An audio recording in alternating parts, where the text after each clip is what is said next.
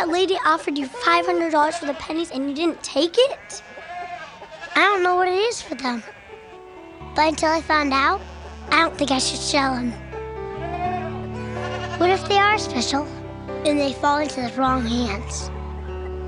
Oh, like a secret power for good or for evil?